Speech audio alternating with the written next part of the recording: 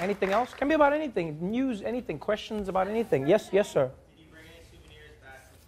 Did I bring any souvenirs back from South Africa? I did. I brought back what we call biltong, which is basically our version. I'm getting to that. So, which is our version of jerky, right?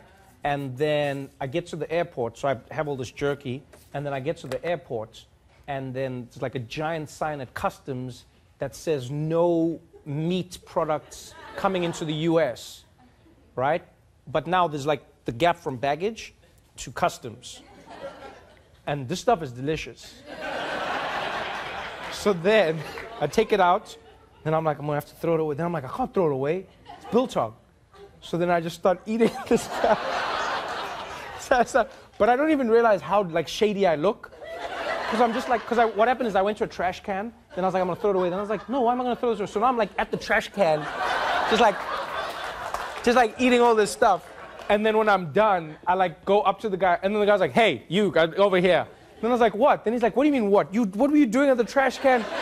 then I'm like, what do you, I don't know what you're talking about.